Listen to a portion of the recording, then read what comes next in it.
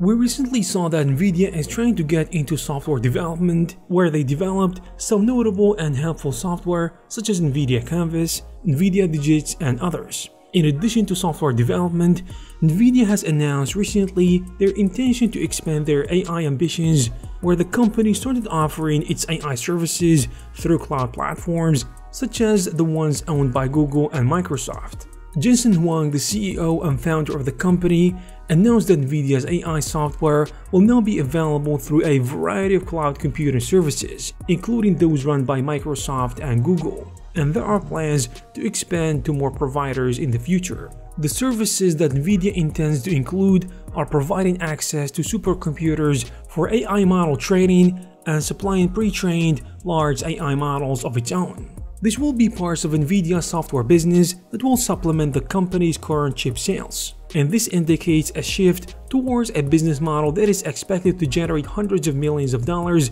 for the company in the future. Plus, it will help the company continue growing because they believe that the software segment will become an increasingly important driver of its revenue.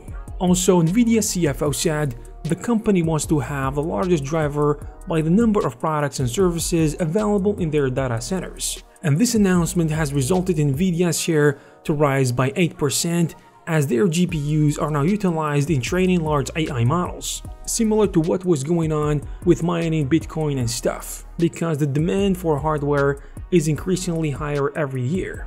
If you found this video useful, please give it a thumbs up and subscribe to this channel to stay updated with the latest news of the CG industry. Thank you very much for watching and I'll see you in the next one.